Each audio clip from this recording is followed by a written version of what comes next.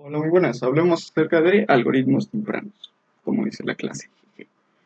Eh, bueno, digamos que vamos a hablar, a centrarnos en estos temas, eh, factorización de un número, eh, la cribera de Tóstenes, algoritmo de Clines, eh, recorrer unas cosas sobre el módulo y exponenciación binaria. Eh, digamos que primero vamos a empezar con esto y vamos a hablar acerca de los algoritmos, ¿no? Cómo construir un algoritmo. Primero hablemos de la factorización de un número. Digamos que tenemos el número 200, 2772 y este número, pues, si se dan cuenta, es divisible entre 2 y esto nos queda 8, así, ¿no? Ok, ahora esto lo podemos dividir entre 2 y... ujú, ujú, y así, ¿no? Ahora esto también es divisible entre 3. Qué curioso, ¿no? Casi parecía que alguien nos escogió este número propósito. Ok, y este también es divisible entre 3 porque la suma de todos sus dígitos es un múltiplo de 3. Y aquí sería 7 y aquí también sería 7. Y aquí si se encuentra esto simplemente es 11 por 7. Ok, Entonces, eso sería ¿no? la factorización de un número. Pero digamos que quizás como ya estamos tan acostumbrados a hacerlo, se nos olvidan algunas cosas de cómo es, ¿no? cuál es el proceso. Eh, primero que nada es que tomamos un número entero y en principio debe ser positivo. Es decir, que digamos que primero, supongamos que el caso nos dan un número z. Nos dan un número z y este número pertenece a todos los enteros. Entonces, digamos que primero que nada, si z es menor que 0, entonces nada más vamos a hacer a z igual al valor absoluto de z. O sea, lo vamos a volver positivo. Y de ahí, si z es menor a 2, pues no lo vamos a considerar porque si se dan cuenta, el proceso aquí termina cuando z es igual a 1. Aunque digamos que si lo dejamos, pues no hay problema. Pero, pues digamos que vamos a considerar que si esto es menor a 2, pues ya no lo vamos a considerar en cuenta porque pues 0 tampoco tiene factores primos. ok, y de ahí qué otra cosa hacemos, ¿no? Tomamos nuestra lista de números primos y de ahí vemos si son divisibles. Pero si se dan cuenta, si es divisible, eh, digamos que si P divide a Z, entonces este, existe un Q a Z más. En este caso ya estamos trabajando con los puros positivos, entonces no hay problema. ¿no? Z más. Eh, tal que si tengo muchos problemas al escribir, perdón. Tal que Z es igual a lo voy a poner con otro color, lo voy a poner con. Ajá. Con esto.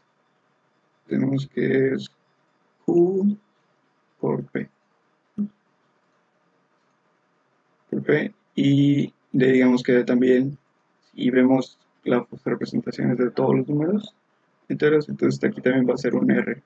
Pero en este caso especial, el residuo es igual a 0 cuando divide, cuando un número divide a otro, y es el caso especial de que el residuo es igual a cero. ¿Okay? Entonces, mm, ahí van habiendo ciertas propiedades y demás. Entonces está muy cool, ¿no? Pero si se dan cuenta, el residuo eh, nosotros lo obtenemos mediante esta operación, que es el módulo.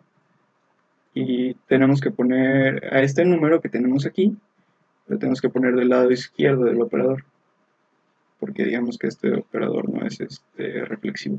O sea que digamos que z módulo p no es lo mismo que p módulo z. Ok. Y de ahí esto lo comparamos siempre que todavía podemos dividirlo, ¿no? O sea, mientras que el residuo sea igual a cero, vamos a dividir y vamos a tomar en cuenta que es factor primo, factor primo, factor primo. Entonces está todo muy cool hasta el momento. Todo muy, muy cool. Entonces ya vamos viendo ¿no? la idea de que vamos a tomar en cuenta el 2, vamos a dividir, vamos a ver que otra vez se pueda y ahí vamos con el siguiente número primo. Ahora, como no tenemos una lista de números primos, eh, lo que vamos a tener que hacer va a ser lo siguiente, que es irnos de corrido hasta que esto sea 1. ¿Ok? ¿Todo muy bien claro? Espero que sí.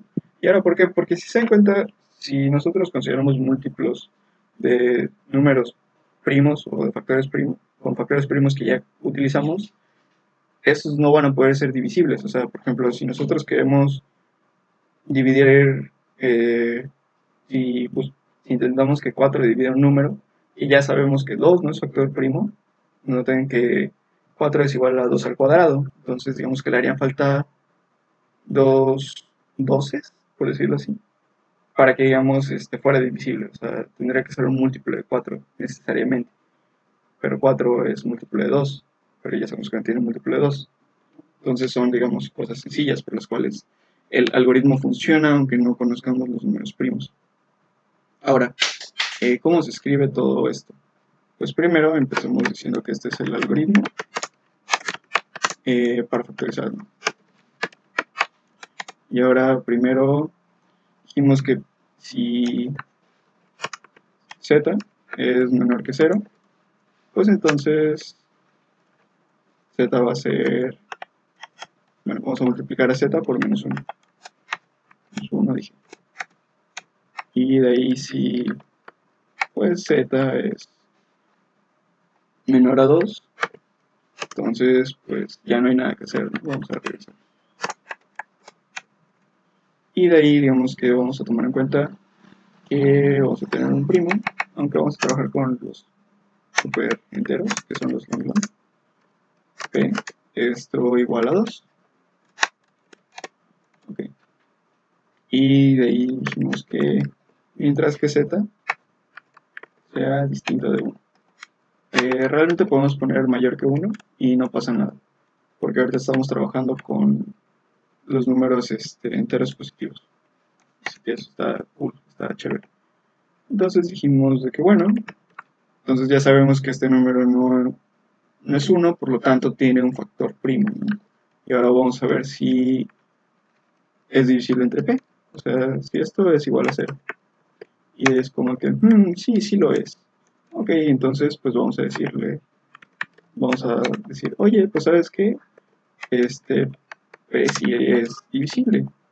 Bueno, o Z es divisible entre P. Entonces, de ahí dividimos para ya no tomarlo en cuenta. Y como esto, pues, digamos que es divisible, nos va a dar exactamente un número entero. Y de ahí ya nada más tomamos un salto de línea para no confundir. Y de ahí digamos que vamos a aumentar a, Z, a P. A P lo vamos a aumentar y vamos a seguir así hasta que nuestro número primo, bueno, hasta que nuestro número Z sea igual a 1. Ok, ahora voy a escribirlo en código y nos vemos en muy poco. Ok, entonces digamos que ahora lo único que vamos a hacer es, digamos que ya está aquí, aquí lo cambié y digamos que dije pues esto es igual a menos 1 y ya. Y digamos que para que eh, termine, vamos a retornar porque ya no queremos que haga nada más. Ok. Como queremos que ahí pare todo el programa, en el caso de que ya no podemos hacer nada, hacemos eso. Ahora le damos aquí a compilar y vamos a meter nuestro número, que era 2772. Y, ok. Este iba bien, ¿no? O sea, nos deja espaciados porque ahí debería el 4, el 5, el 6, el 7, el 8, el 9, el 10 y digamos que como vemos pues no, no pasa nada, ¿no? O sea, no hay ningún problema. Ahora, ¿qué pasa si nos dan varios casos, ¿no? Si nos dicen que va a haber t casos. Pues entonces digamos que tenemos un entero t y ahora vamos a leer primero ese número, número entero t. Y al menos, digamos que sale un poco barato hacer esto. T menos menos. Esta es una forma segura de lo que estamos haciendo eh, va a ser totalmente efectivo. Y este, yo así lo hago y es muy, muy genial. Ahora nada más lo que vamos a darle aquí es a darle su formato para que quede así bien bonito. Miren qué bonito queda. Bueno, entonces digamos que ya, este es menos uno y que sigue Pero aquí en este caso lo vamos a modificar un poco y lo vamos a poner este Z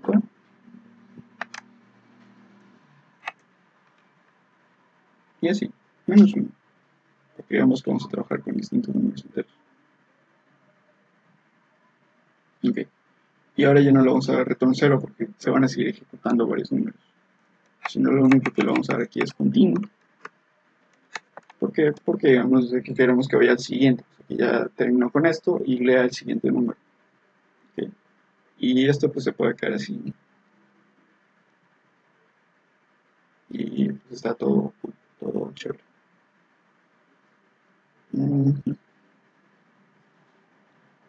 Y lo único que podemos hacer aquí para mejorar esto, bueno, que vemos que funciona, es aquí declarar un booleano.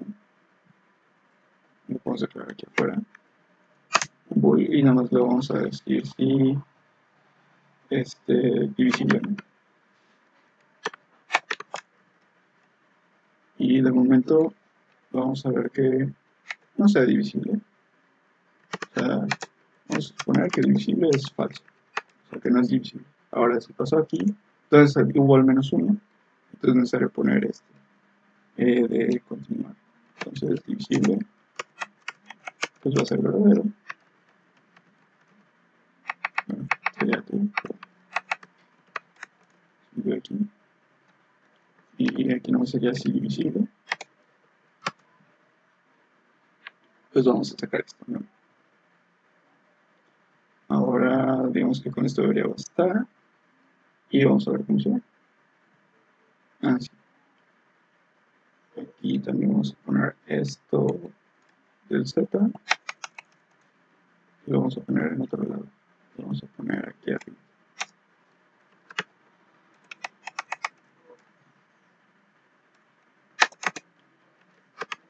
vamos a poner aquí z y de ahí espacio dos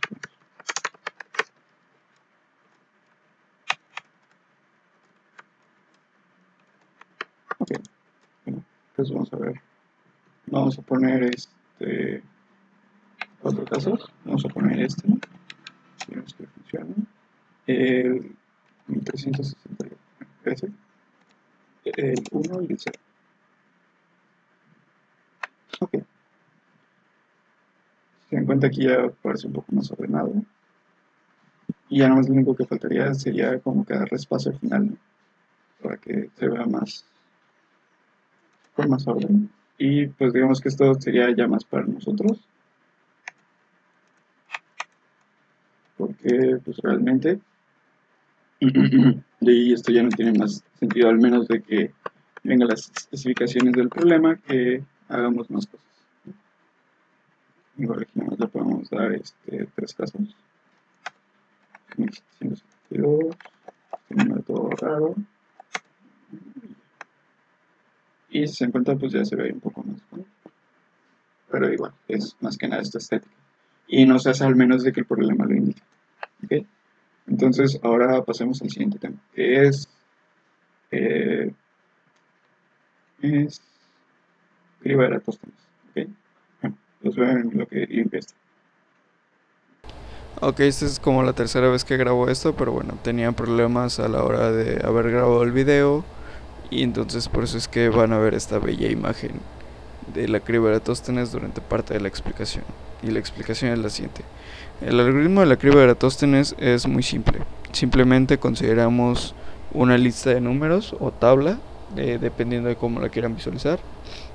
Y de ahí lo que vamos a hacer es que cualquier número que no esté tachado va a ser un número primo.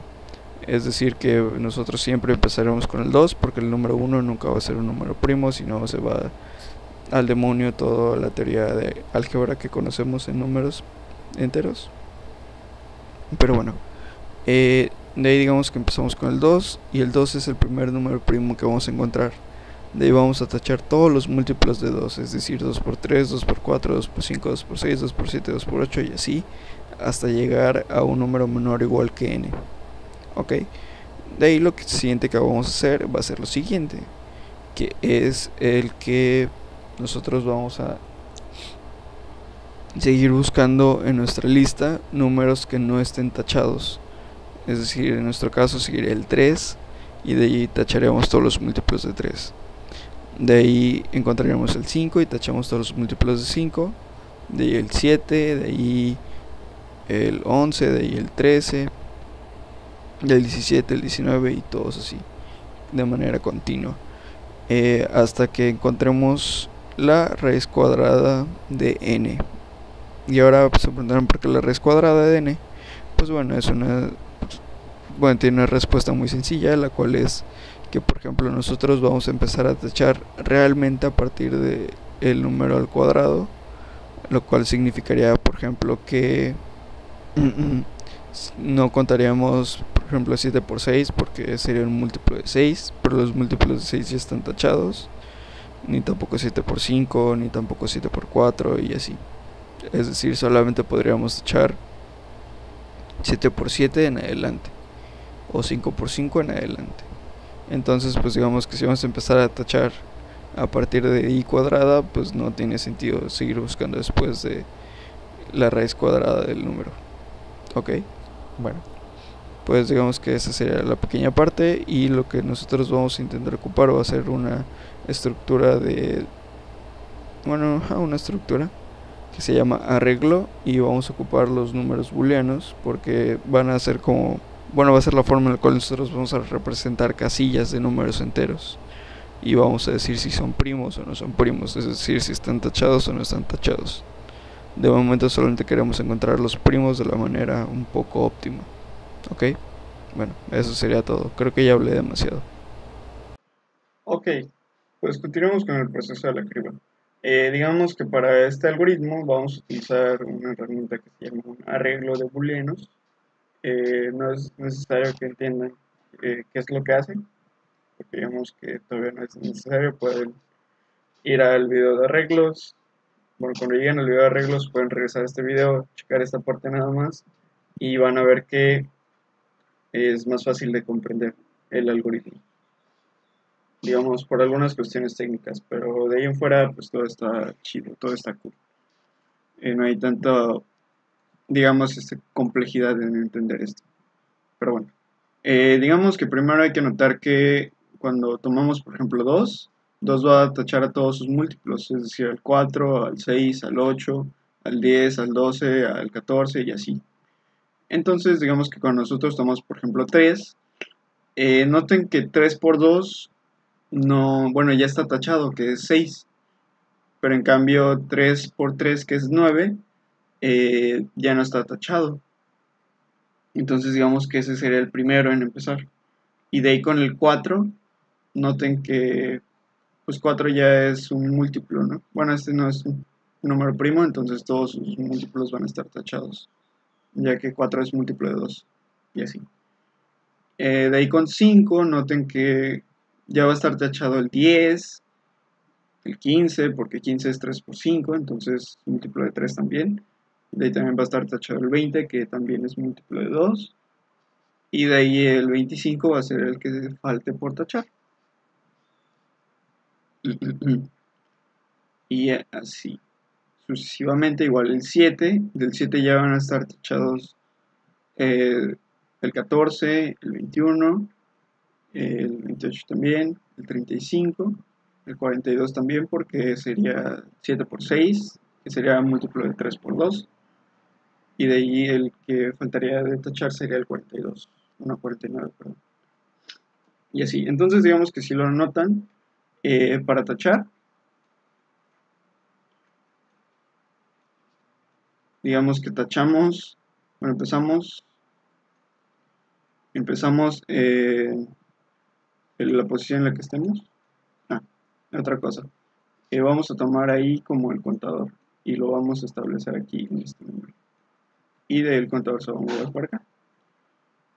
Y digamos que vamos a empezar a tachar desde i por i, o sea, i cuadrada, y lo vamos a terminar de tachar hasta que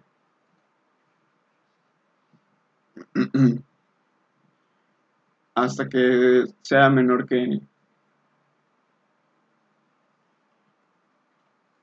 Bueno, hasta menor igual que n y todos estos los vamos a tachar.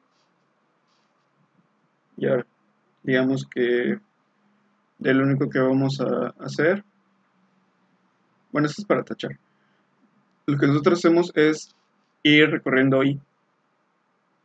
O sea que digamos que vamos a hacer un for y vamos a inicializar en i igual a 2 y de ahí digamos que i va a ser, debe ser menor igual que n y de ahí un i más más ¿no? porque nos vamos a seguir moviendo. Y de ahí si se dan cuenta si se dan cuenta vamos a tachar pero solamente si el número que tenemos es primo. O sea que digamos si digamos que si es primo, si es primo i, entonces digamos que vamos a tachar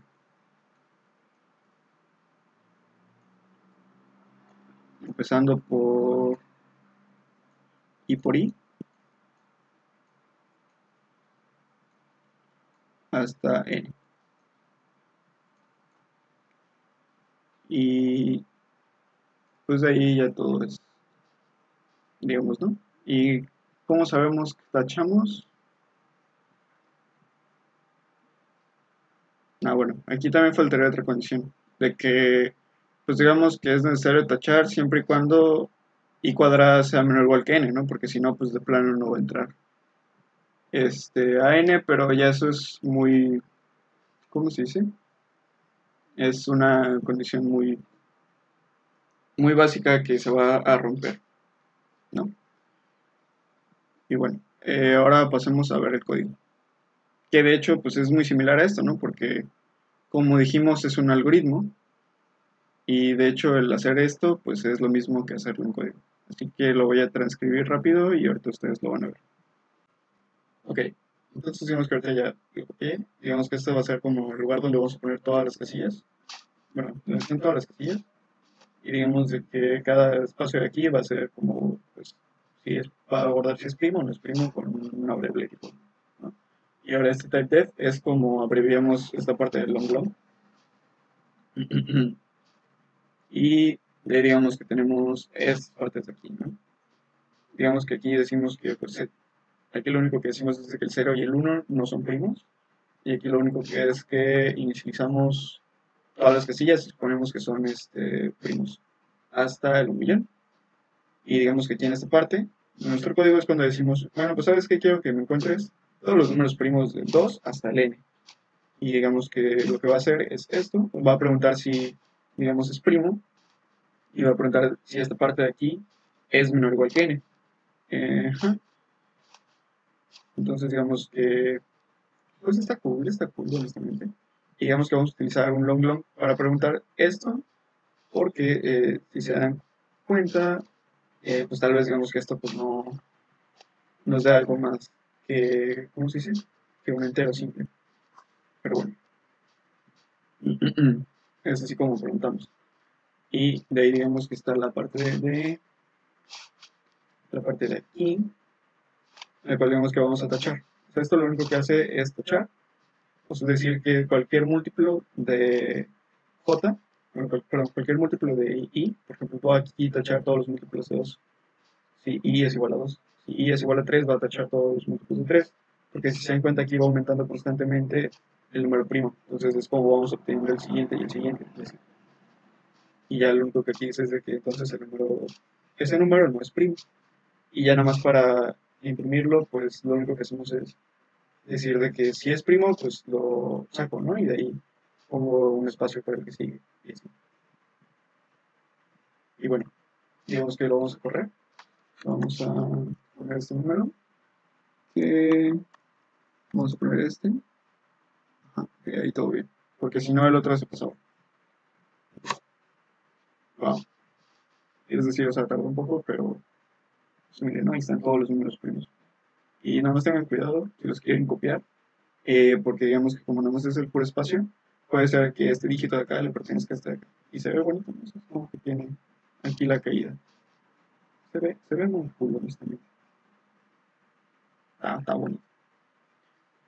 Más adelante entenderán por qué nos restringimos a ciertos casos o a ciertas cantidades. Pero eso no nos compete ahorita. A lo mejor ya tengo mi. Bueno, entonces digamos que así es como nosotros escribamos y de hecho todavía hay una forma mucho más rápida de hacerlo, el cual es hacerlo hasta la raíz.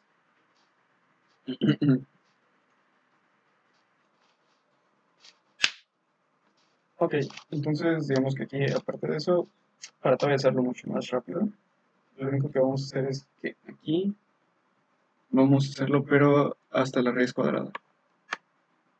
O sea, hasta esta parte de aquí. Suena interesante, ¿no? O sea, podemos checarlo. Digamos que hasta esto incluso ya no es necesario porque ya viene aquí en esta parte de arriba. Ok, entonces, pues digamos que venía ahí hasta el 16. Mira, sí, se encontró todos los primos. Y ahora vamos a intentar la criba normal, que generalmente es hasta el 100. Y si se dan cuenta aquí aparecen todos los números que no son, este, perdón, los números que son primos. Voy a checar que esté grabando así. Ah, aquí está. Entonces el 2, el 5, el 11, el 13, el 17, el 19, el 23, 29, 31, 37 y demás. Ahora esto digamos por qué funciona. Eh, funciona pues digamos que precisamente si nosotros aquí tachamos todos los múltiplos de 4, digamos que ya habremos llegado hasta la raíz cuadrada del 16. Pero esto ya no es número primo. O sea, como que ya todos los múltiplos de cualquier número primo que encontremos ya van a estar tachados. Porque precisamente empezamos a tachar a partir de la, del cuadrado de ese número primo. Por ejemplo, aquí el 7, tachamos a partir de ese 7. Es decir, que si nosotros, por ejemplo, como en el caso de 100, nosotros tacharíamos hasta i igual a 10. Porque digamos que, por ejemplo, el 11 el 11, el que no está tachado, sería el 121, si no me recuerdo. Porque 11 por 11, sí, 11 por 11 es igual a 121. Y todo Entonces digamos que es, una forma todavía más óptima de correr el algoritmo. Porque ya te evitas de todos esos pasos. Incluso, por ejemplo, podemos dar el 1 millón. Y ahí se va a tardar un poco en imprimir, no se tardó tanto. Creo que se tardó un poco más en lo que nosotros escribimos de lo que, bueno, e imprimimos de cualquier otra cosa. Pero sí, digamos que está. Ok, entonces continuamos con el algoritmo de Euclides. Bueno, pues verán, el algoritmo de Euclides es simplemente el algoritmo que encuentra el máximo común divisor entre los números. En inglés lo van a topar como GSD y en español es MSD, que es mínimo común divisor de A y B. Así se escribe y digamos que está comúnmente definido por esta fórmula. Bueno, no fórmula, pero bueno, por esta regla, ¿no? Que el GCD de A, B es igual a A si B es igual a 0 y el GCD O si es distinto de 0, entonces es el GCD de B a módulo B. Y digamos que es necesario que A y B sean enteros no negativos, o sea que digamos sean positivos o sean el 0. ok, pues si me preguntaron, pues realmente me cuesta a veces trabajo hablar. Ahora, si verán qué es esto, digamos que es parte de la demostración de álgebra, es curso de y digamos que nosotros tomamos un D igual a, al GCD de A como B. Okay. Esto implica que D divide a A y D divide a B. Bueno, de ahí noten que si R, que es el residuo, que este es igual a este es igual a A módulo B, pues es lo mismo que A menos B por la parte entera, por abajo, de la división de y ahora si digamos que la parte entera por abajo o la digamos la función piso de la acción de A entre B es entero digamos que pues ya no hay ningún problema, ¿no? Nos daría que suceda. Pero bueno, eh, si se dan cuenta, si nosotros dividimos esto entre D,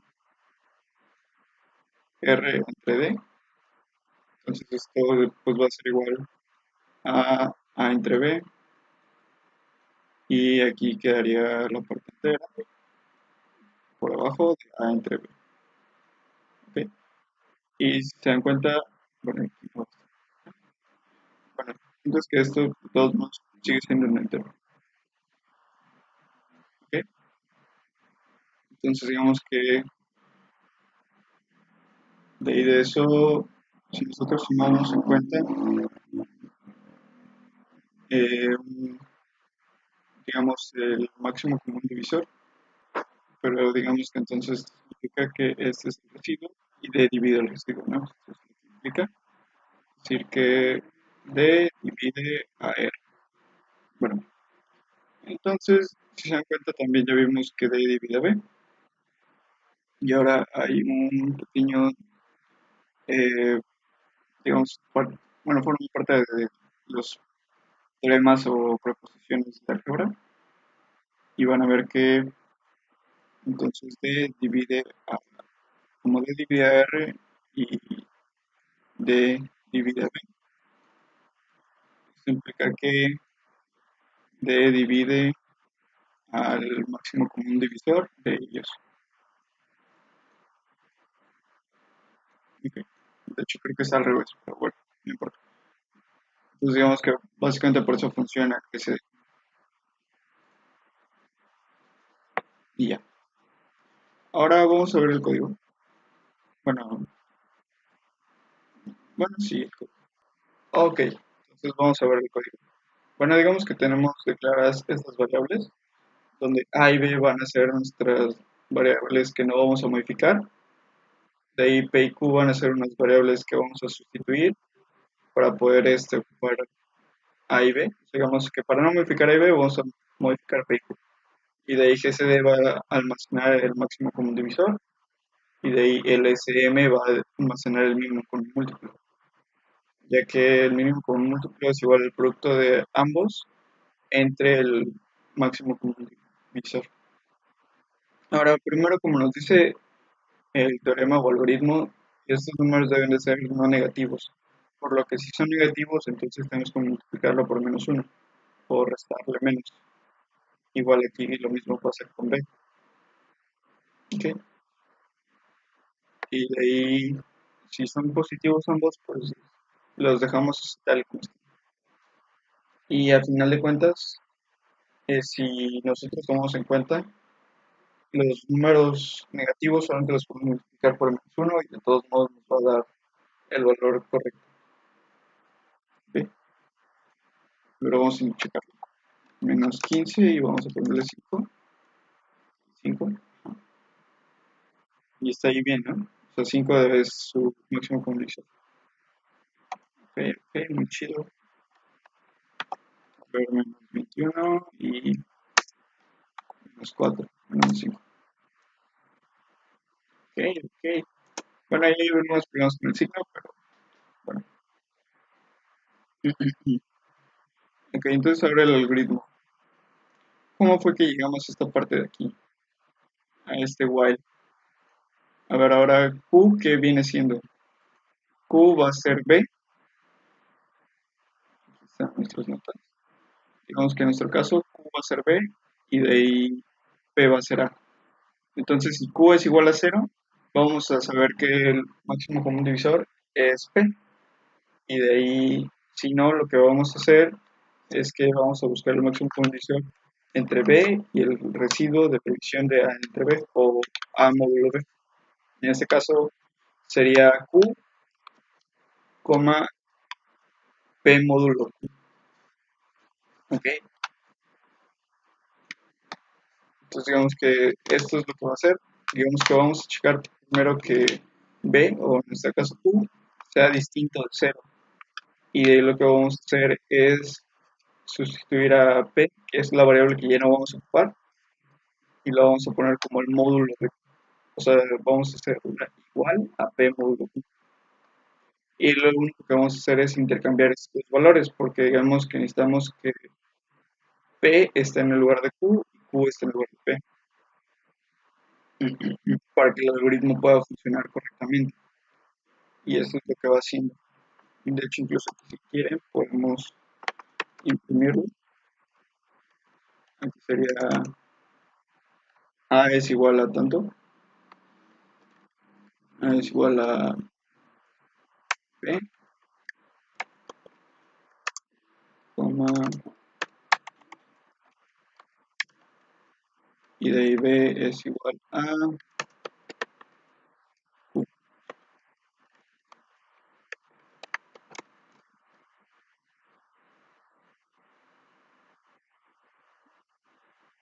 Y ahora digamos que probemos con este número y probemos con este número. Ahora digamos que esto empezaría de la siguiente forma. Digamos que si dan cuenta aquí, este pasa acá y este de aquí pasa a ser el residuo de la división de A entre B o A módulo B. O sea, este número módulo este. Y lo mismo pasa con este. Este pasa por acá y este módulo este. Y si se dan cuenta, en este caso fue lo mismo que restar este menos este. Ok. Y así digamos que lo va haciendo muchas veces hasta que ya llega a esta parte donde aquí es 101, 3 digamos que ya el 3 aquí llega hasta esta parte cuando A es igual a 1 y B es igual a 0 y aquí está todo muy bonito, entonces digamos que esto vendría siendo el algoritmo de Euclides para la división y ahora esto nos pone. Así es como se comenta y así es como lo ponemos en azul bien bonito todo. Ok. Bueno vamos a empezar el siguiente tema que es el módulo. Ok pues bueno ahora vamos a hablar acerca del operador módulo. Eh, el operador módulo es un, una operación que de hecho ya estamos utilizando hemos utilizado bastante en este video. Y digamos que pues por si no lo habían definido, digamos que cuando utilizamos el operador módulo, lo que hacemos es de que tenemos el número A y lo vamos a restar B por la parte entera de la división de A entre B. Es decir, digamos que si nos da 4.1, el punto 1 no lo tomamos en cuenta. Si la división nos da 4.99, tampoco lo tomamos en cuenta, solamente tomamos en cuenta el 4 y ya. Ahora, digamos que dos números sean congruentes respecto a un módulo C, A congruente con B respecto al módulo C, no significa que estos dos números sean iguales. Simplemente significa que estas divisiones son iguales. O es decir, esto de aquí es igual a esto. Y ahora, digamos que esto tiene, lo que sí es cierto es de que si esto se sostiene, entonces voy a dibujar nada más. Significaría que, no me significaría que A menos B es concurrente con 0 módulo C.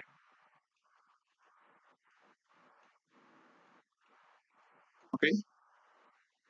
Lo mismo pasa del otro lado, como esto es, sería B menos A porque pues digamos es un cero, entonces aquí no importa realmente el orden.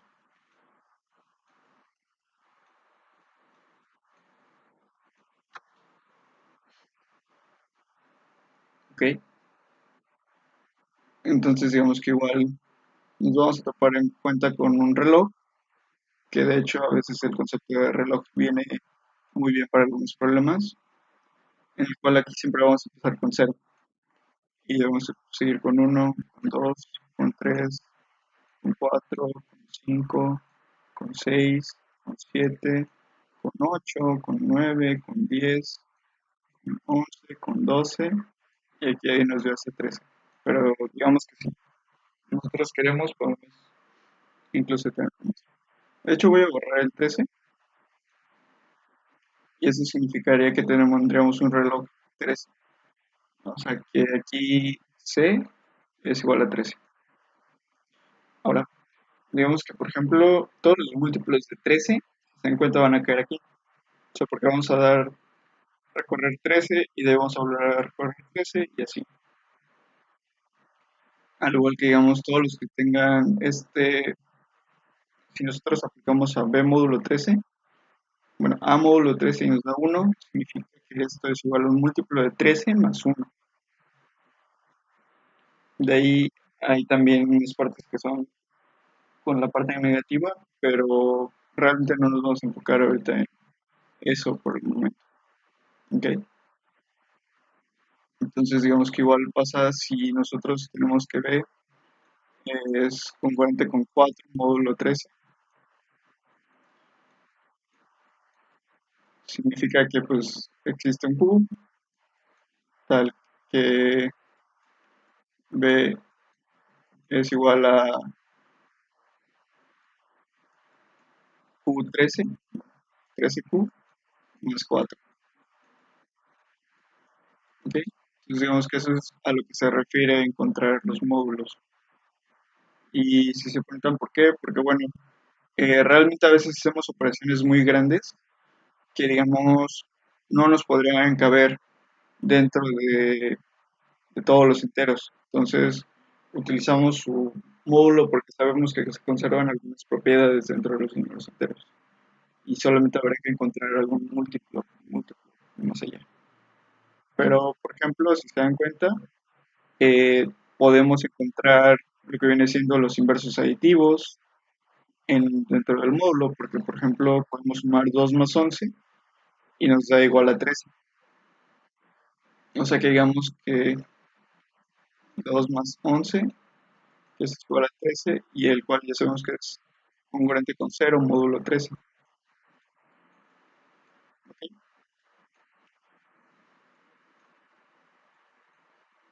Y aquí, todo está bien, ¿no? Todo cool, todo cool. Entonces, digamos que déjenme encontrar mi parte. Bueno, y digamos que si a este le restamos 2, entonces encontraríamos que 11 es congruente con menos 2 módulo 13. O sea que digamos que yendo en el sentido contrario, el 11 está en esta parte de aquí. Igual si nosotros le restamos a este menos 11, encontraríamos que 2 es congruente con menos 11 módulo 13. Y cosas así. Lo cual pues es bastante interesante. Digamos que esta parte es un poco más eh, teórica,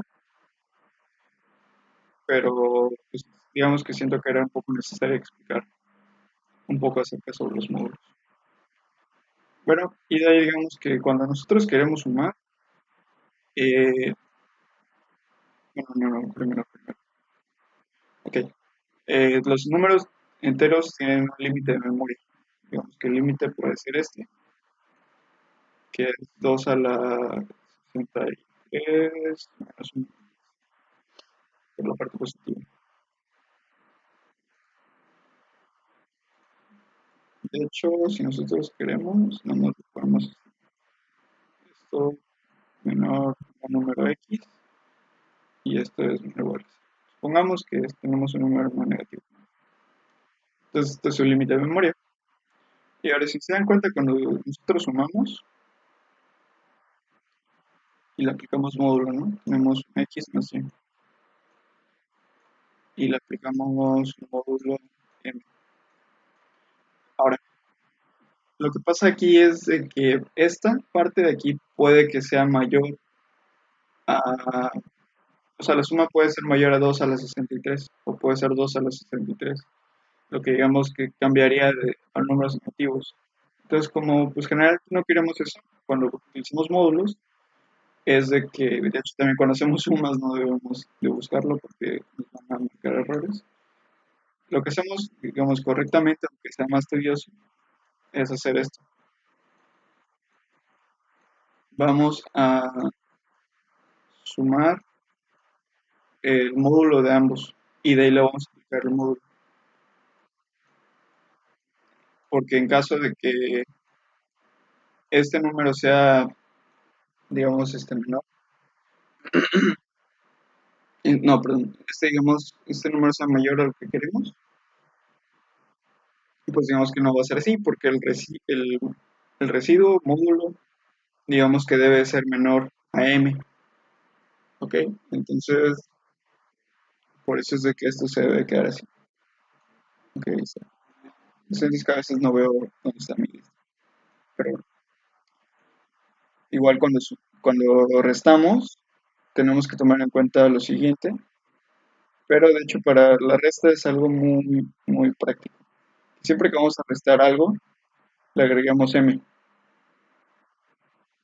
O sea, por ejemplo, si queremos restar x, le sacamos el módulo a x menos x más este y módulo m. ¿Por qué? Porque digamos que imagínense que ese x es mayor que este. Entonces nos daría un resultado negativo por el módulo.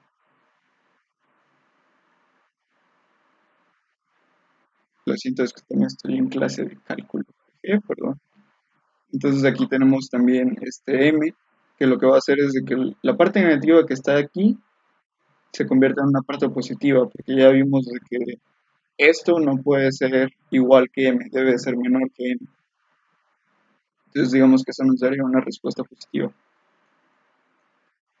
Por lo que estas son las formas correctas en las que sumamos.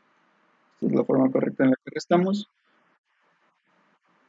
Y realmente cuando dividimos, pues si se dan cuenta no tiene mucho sentido dividir utilizando módulos, porque queremos que el número sea un número entero, no un número fraccional, ni un número flotante, ni nada de eso. Lo que sí podemos hacer es la multiplicación. ¿Ok? Entonces digamos que como multiplicamos, igual aplicamos lo mismo. De hecho, este, tenemos aquí x módulo m y esto lo multiplicamos por y módulo m.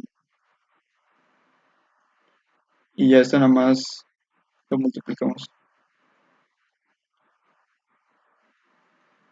Y utilizamos el módulo. Se dan cuenta, esta es la forma correcta en la cual debemos hacer las cosas para evitar que tengamos problemas. Y ahorita voy a hablar un poco más.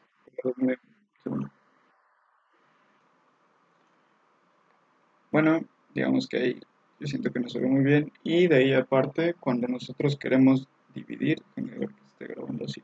Ahí es eh, Bueno, digamos que cuando queremos dividir, lo único que tomamos en cuenta es lo siguiente.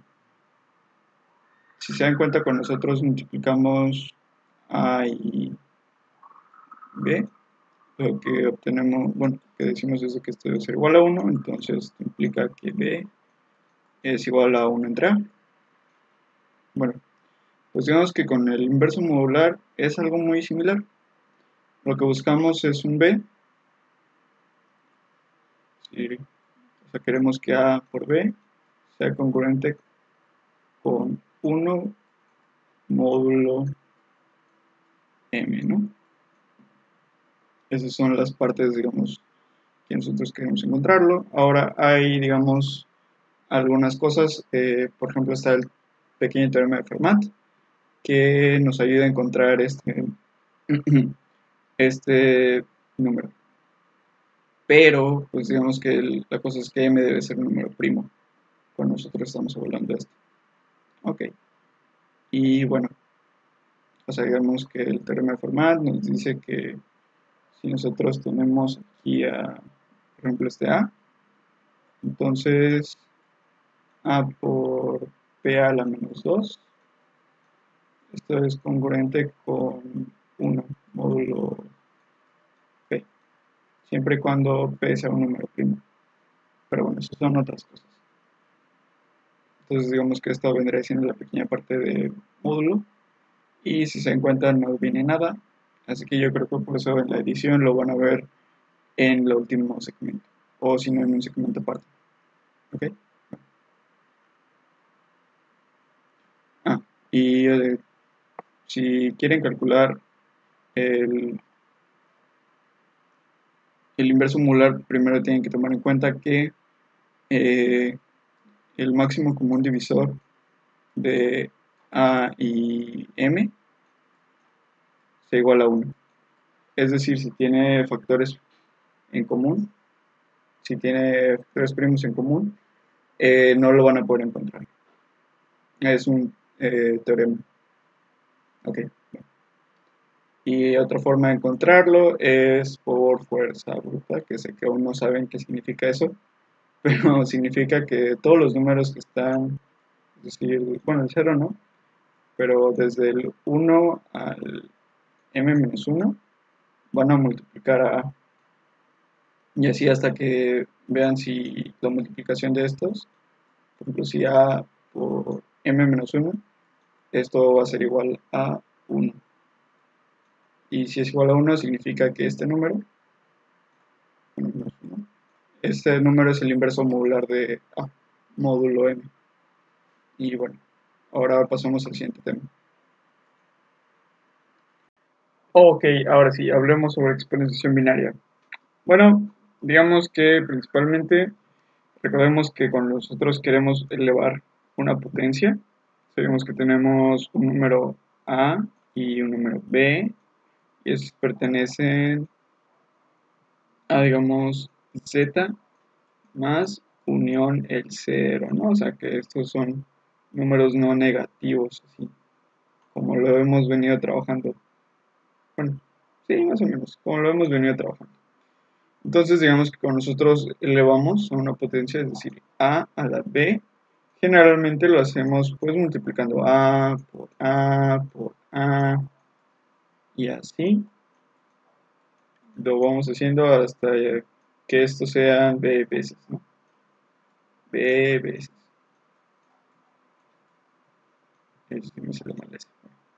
Entonces, digamos que a alguien se le ocurre decir, oye, ¿Te das cuenta que cuando tú multiplicas un número x por el número x, esto es igual a x al cuadrado? Y la otra persona, oh, sí, ¿no? Entonces, de ahí alguien fue como de que, hmm, ¿y qué pasa si yo multiplico x cuadrada por x cuadrada? Y esto es como de, oh, mira, pues esto es igual a x a la cuarta. Si yo multiplico x a la cuarta por x a la cuarta, pues entonces obtendrías que esto sería igual a un x a la 8. Y de ahí todo el mundo así como de que, oh, diablos, qué cosa más increíble. Ah, pues en el caso de que nada más sea uno, pues aquí está la x, igual a x a la 1. Ahora, noten que si nosotros multiplicamos todo esto, si nosotros llegamos a multiplicar a, a x por x cuadrada por x al 8. Esto pues es lo mismo que si nosotros multiplicamos x a la 11. Hmm, interesante, ¿no? O sea, porque digamos que los exponentes se suman y estos están en potencias de 2. Ahora, si encuentran ahí un parecido, es porque realmente aquí estamos expresando cada parte como una potencia de 2. Si lo estamos sumando, es decir, que esto, si x a la 11, esto lo estamos trabajando como si fuera un x a la 11, pero en representación binaria. Que esto vendría a ser igual a x, aquí esto sería 1, 1, 0 y 1. Y todo esto en potencia 2, bueno, en base 2. Mm, bueno, aquí no sería 11 esto, sino que queremos trabajar este 11 como en base Y, y esta es la representación binaria. Y de ahí digamos que trabajaríamos con estos bits. O sea, lo que queremos llegar es de que queremos descomponer el número en sus bits o en sus, digamos, potencias de 2. Como si estuviéramos trabajando con los números este, del 1 al 100, bueno, si queremos este, bueno, los números decimales, Ya ven que tenemos el 100, el 10, el 1 y de ahí estos los vamos sumando y pues obtenemos nuestro número, en este caso sería 111. Y aquí vamos a hacer lo mismo, pero lo vamos a trabajar haciendo esta parte de aquí. Lo voy a poner en rojo para que se vea más chido. Está bien. uh, la. Esta parte de aquí. Esta es la que queremos utilizar. Vamos a empezar porque x es igual a x a la 1, x por x igual a x al cuadrado, x cuadrado por x al cuadrado, es igual a x cuarta. Entonces digamos que de esa forma vamos a llegar más rápido. Ahora, nota. Nota muy importante. Eh, recordemos que la exponencial crece de manera muy rápida. Por lo que digamos que a lo mejor en unos pequeños pasos, por ejemplo, si nosotros queremos elevar un millón a la décima potencia, esto nos va a dar demasiados ceros y eso no es un número que nosotros podemos manejar. Entonces vamos a tener que aplicarle el módulo para que el número sea más pequeño, sea más fácil de trabajar. Pero bueno, ok, entonces digamos que más o menos de esto va a tratar la exponenciación binaria. Aunque igual vamos a hacer primero una parte con módulo y otra parte sin módulo. Bueno, primero sin módulo y de ahí con módulo y vamos a aplicar algunas cosas que ya vimos. Ok, ok, ok. Todo cool, todo cool. Bueno, entonces voy a borrar tantito y de ahí les explico lo demás. Ok, bueno. Pues vamos a continuar con esta parte, ¿no? Vamos a tomar el caso en el que es nuestro número 15 y el 15 en representación binaria se escribe de esta forma. O sea, porque 2 a la 4 es 16 y nada más podemos poner 1 y 0. Entonces, si a este le restamos 1, este se apagaría y se prenderían todos estos. Digamos que hay más cosas de teoría de bits, pero todavía no es necesario verlas. ¿okay? Esta es una breve explicación sobre cómo plantear algoritmos. Y de hecho este es un algoritmo pues, eficaz cuando queremos eh, elevar un número a cierta potencia, sobre todo números enteros y cuando ocupamos algún módulo. De hecho, ¿saben qué? Por si le voy a poner aquí un valor. Y en este caso va a ser 13. Ok. Y si se dan cuenta aquí 13 es un número primo. De hecho, ¿saben qué? Mejor voy a poner 17. Vamos a darle, ponerle 17 a nuestro módulo. Ok. Bueno, pues primero que nada eh, tenemos que considerar a A eh, módulo mod y sí es algo raro. Bueno aquí es módulo módulo mod. Es algo raro verlo así porque pues matemáticamente escribimos módulo B o módulo M o cosas así.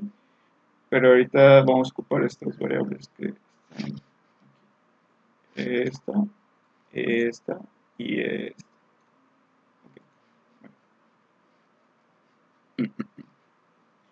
Y de ahí vamos a considerar la parte que vamos a responder. O sea, básicamente esto que vamos a ir elevando. Y lo vamos a llamar res. Y en este caso res va a empezar en 1.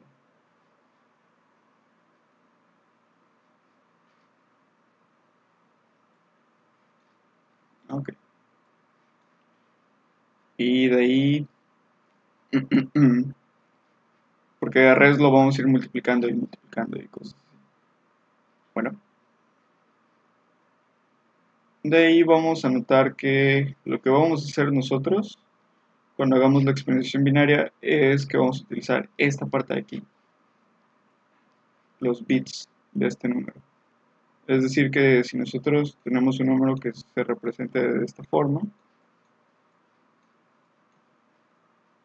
cuando nosotros multipliquemos o hagamos la suma, eh, solamente vamos a ocupar aquellas partes que tengan el bit prendido, es decir, que tengan el 1. Y lo vamos a hacer comparando esta representación y lo vamos a comparar con esto. Porque si se dan cuenta de esta forma, nos aseguramos de que el 0 eh, en todos los lugares nos dé 0 y vamos a utilizar algo que es un operador binario el cual es este ampersand que solamente nos va a decir si son este si tiene la misma cantidad de unos y ceros o no. Digamos que va a ser un AND en ambos y por ejemplo aquí que ves ambos son 1 va a poner este un 1 aquí como ambos son 0 va a poner un 0 aquí como son diferentes va a poner un 0 también. Es decir que ambos deben ser verdaderos para que ese bit sea verdadero. Por lo que de esta forma nos da un 1 si es cierto o un 0 si es falso. También es una forma muy sencilla de saber si el bit está prendido.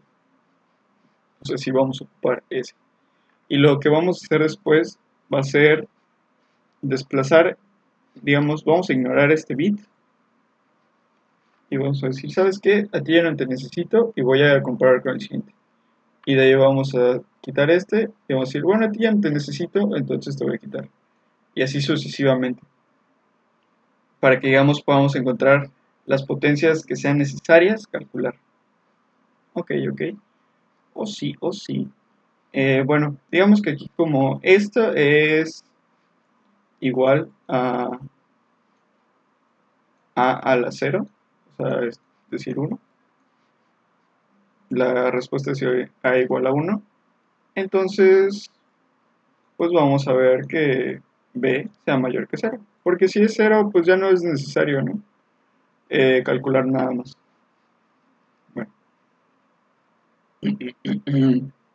Y de ahí vamos a hacer esto, que les digo.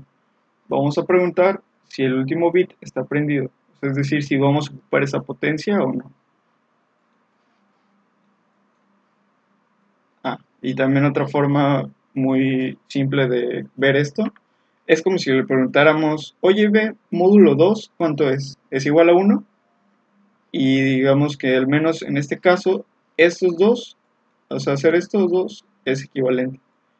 Pero esta tarda menos tiempo que hacer esto. Porque aquí tienes que primero tomar en cuenta que vas a dividir B entre 2 y de ahí a B le vas a restar la parte entera de esa división y ya ahí vas a encontrar el módulo. De esta forma nada más te lo saltas de un solo paso. Y pues como esto nada más tiene 64 bits, pues entonces digamos que sería el tiempo de 64, en lugar de que aquí va a seguir dividiendo 2 por 2 por 2 por 2. O sea, digamos que es más efectivo. Quizás no lo parezca, pero es más efectivo. entonces lo único que hacemos es poner aquí un B y de ahí este signo de ampersand que me salió ahí un poco feo, pero ya ahorita en el código se va a ver mejor. Y de ahí vamos a decir, bueno, como tú estás prendido, entonces a ti te necesito. Y es como que, ah, sí, y nosotros decimos, sí, claro que te necesito. Entonces, suena muy raro, pero. Entonces vamos a decir, bueno, res, tú vas a hacer lo mismo que res eh, por A. Pero a ti te voy a aplicar el. Perdón, perdón, perdón. Voy a borrar esto. Porque lo vamos a tener un poco de espacio y de ahí va a ser res por a. Y de ahí le vamos a aplicar el módulo. ¿Por qué? Porque ya vimos en la parte anterior que es necesario sacar módulos cuando ocupamos el módulo. Mis chiquitines y chiquitinas, supongo. ok. Y de ahí, digamos que esto es para saber si el bit que estamos ocupando es necesario. Y de ahí vamos a preparar para la siguiente potencia, es decir, que A lo vamos a elevar al cuadrado, ¿cómo lo vamos a hacer? Pues simplemente A por A módulo M. Bueno, mod. Ahí ya puse M porque no me cabía y tampoco quiero borrar. Y de ahí lo único que vamos a hacer es descartar el último bit. O sea, esto pues lo vamos a no lo vamos a tomar en cuenta. Es como cuando nosotros dividimos entre 10 para saber los dígitos de un número. Cuando divides entre 10, pues ya te olvidas de si era había un 9, si había un 8 en la parte de las unidades. Esta forma es muy similar a dividir entre 10, pero estás como dividiendo de cierta forma entre dos pero igual es más rápido. Y lo hacemos de esta forma. Significa que aquí vas a dividir entre 2 el número que tienes. En este caso es b y es el exponente. Y ya por último, nuestra respuesta, esto, digamos que una vez que termina esto, eh, eh, res es igual a a a la b módulo mod. Ok. Entonces digamos que más o menos es el proceso. Y si van, espero que hayan cachado más o menos cómo es que se fue construyendo esta parte. Y ahora pasamos al código y terminamos.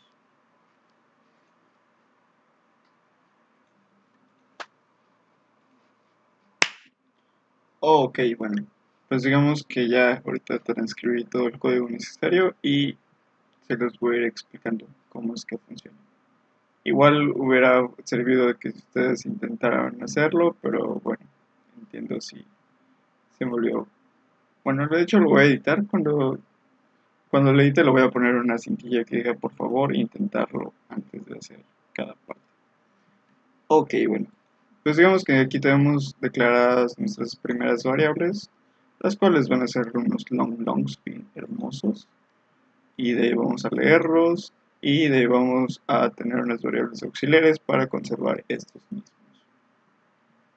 Ok, entonces digamos que de ahí vamos a tomar en cuenta que A, bueno, eso significa que A va ahora va a cambiar y va a ser A módulo módulo a módulo mod, perdón. Y vamos a considerar que la respuesta es igual a A al 0, es decir, igual a 1. Como dijimos, pues vamos a tomar en cuenta que pues ya no es necesario tomar el caso cuando pues es 0, porque pues realmente es este y ya lo tenemos, sino cuando está, digamos, otros números aparte. Entonces, eh, tomamos en cuenta el caso de 1. Mm, bueno, Y de ahí digamos que vamos a tomar en cuenta los demás casos y de ahí vamos a preguntar si el último bit está prendido, es decir, si vamos a necesitar eh, utilizar esa el exponente que es este. Este va a ser el número que vamos a ir este, elevando al cuadrado conforme pase el tiempo. Es decir, como que van desfasados, ¿no? O sea, este iría igual a 0, pero este ya va en, digamos, en el exponente igual a 1. O sea, como que va a desfasar esta parte. Entonces, de checamos si lo tiene, pues entonces lo vamos a multiplicar por A, por lo que esté ahí. Le vamos a el módulo. Y de ahí vamos a preparar este para la siguiente iteración. Que si se dan cuenta en el primer, la primera vez que lo recorremos, esto nos va a dar A cuadrado de ahí nos va a dar a cuarta, de ahí nos va a dar a octava, de ahí a, a, la 16, a la 32, igual. Y sucesivamente. Y de ahí digamos que como ya no necesitamos el último bit, o sea, saber si vamos a ocupar ese o no vamos a ocupar ese, pues entonces lo eliminamos y pasamos al siguiente. Y es como dijimos que esto era como si fuera un entre dos, pero más rápido. Ok. Eh, bueno, digamos que ya ahora una vez que termina esto, nos da el número A a la B, módulo mod o módulo M. De hecho, aquí no sé por qué lo puse mod. Por eso lo pueden cambiar a, M si gustan. Ok. Entonces, digamos que de aquí, esta parte eh, va a ser para encontrar el inverso modular.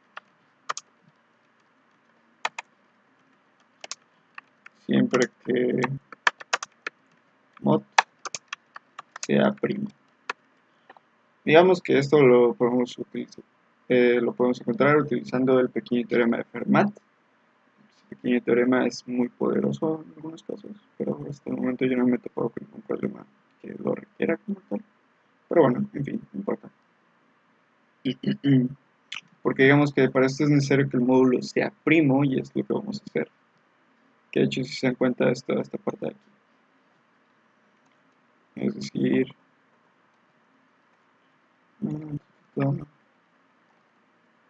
buscamos que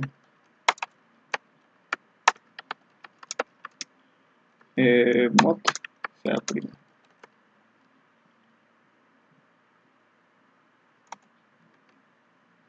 Y aquí termina el chequeo.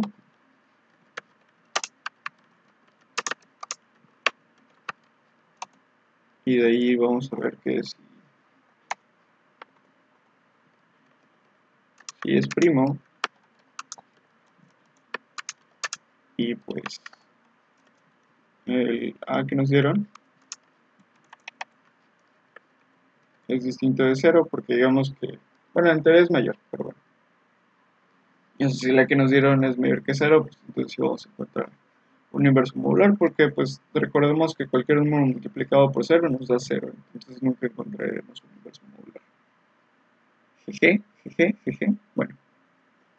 Ahora digamos que para calcularlo vamos a utilizar lo mismo, pero en este caso vamos a ocupar este preciso detalle, en el cual es que b es igual a módulo menos 2. Esto se debe al pequeño teorema de Fermat. Eh, voy a dejar un enlace a donde está esa parte, y ahí más o menos se explica el porqué. Bueno, de hecho no, no explica el porqué tanto, nada más menciona el pequeño teorema de Fermat, que Fermat lo encontró y cuántas cosas. Y de hecho aquí también viene esta parte. Bueno, entonces, eh, pues digamos que hacemos lo mismo, pero utilizamos la exponenciación rápida para poder encontrar su inverso modular, el cual es este, el res, es decir, lo mismo que allá, pero en el caso particular de módulo menos 2, cuando ves módulo menos 2. Ok, ok, y aquí nada más es una forma de ponerlo, esto significa concurrente, nada más que ahí no se ve tan bien, pero bueno, igual aquí es concurrente porque no sé cómo poner concurrente y creo que no podríamos porque esto solamente tiene chars y cosas así. Digamos que por los caracteres. Entonces dijimos que era 3 a la 15 módulo 17. Y ahí están, ¿no? 3 a la 15 es concurrente con 6 módulo 17. Y de note que el inverso modular de 3 es 6. Ya que 3 por 6 es igual a 18, que a su vez es concurrente con 1 congruente con... Bueno, ahí se repite. No es mi mejor escritura, pero el punto es que ahí está. De hecho, podríamos hacer esto. Aquí igual. Aquí le quitamos esta parte. Y aquí nada más lo ponemos esto. Comenta con uno, módulo Igual vamos a poner lo mismo, 3, 15, 17. 3 por 6 es igual a 18, que esto es